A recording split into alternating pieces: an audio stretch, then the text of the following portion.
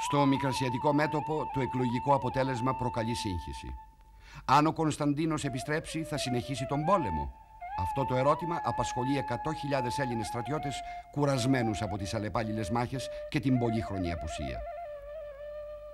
Στο τυπικό δημοψήφισμα που ακολουθεί, φιλελεύθεροι και κομμουνιστές απέχουν.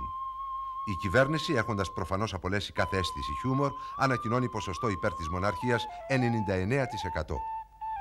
Οι πρεσβείες των δυνάμεων της Αντάντ κατακλείζονται από ψηφίσματα και τηλεγραφήματα σωματείων και οργανώσεων που στέλνονται με πρωτοβουλία της κυβέρνησης. Το επαναλαμβανόμενο μήνυμα είναι η αφοσίωση του ελληνικού λαού στον Κωνσταντίνο αλλά και στην Αντάντ.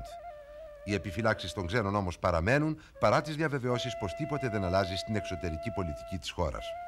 Ο πόλεμος πάντως θα συνεχιστεί.